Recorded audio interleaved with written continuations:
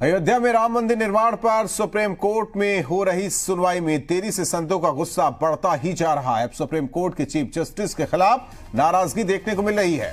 राम मंदिर निर्माण के पक्षकार महेंद्र धर्मदास ने पीएम मोदी और बीजेपी के अध्यक्ष अमित शाह, कांग्रेस के अध्यक्ष राहुल गांधी को चिट्ठी लिखकर मांग की कि वो सभी सांसदों से बात करके महाभियोग लाकर चीफ जस्टिस को हटाएँ। इस पद पर किसी दूसरे को नियुक्त करे ताकि मंदिर निर्माण पर जल्द से जल्द फैसला हो सके। धर्मदास का कहना है कि सुप्रीम कोर्ट के जो चीफ जस्टिस हैं, उनको इस केस में कोई दिलचस्पी नहीं है। ना ही आगे वो इस पर कोई ठोस कदम उठा सकते हैं।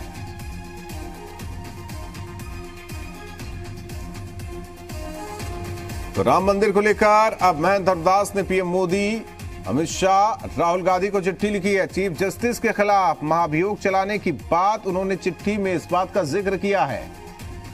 तो अयोध्या विवाद सुलझाने में हो रही देरी से संत नाराज़ हैं।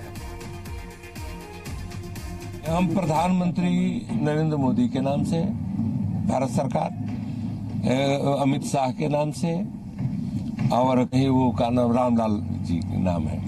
कांग्रेस हाँ, कांग्रेस के अध्यक्ष को लिखा हूँ शिवसेना के अध्यक्ष के दर प्रत्यक्ष मिल करके वहाँ रावत को हमारे के अयोध्या आए थे शिवसेना के अध्यक्ष को लिख दिया हूँ। पत्र में इन लोगों से मुख्यतः क्या क्या मांगे? हम मांग किए कि इन इन पर महाभियोग लया करके इनको बर्खास्त करके दूसरा हमारा नित्य प्रति सुनवाई में हमारा रास्ता साफ़ किया जाए। कोर्ट पर दबाव दिया जाए कि राम मंदिर के जल्दी से जल्दी केस सुनाई करें।